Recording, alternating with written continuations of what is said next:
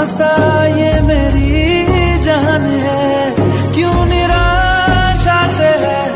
आस हारी हुई। क्यों सवालों का उठा सा दिल में तूफ़ान है? नैना, थे आसमान के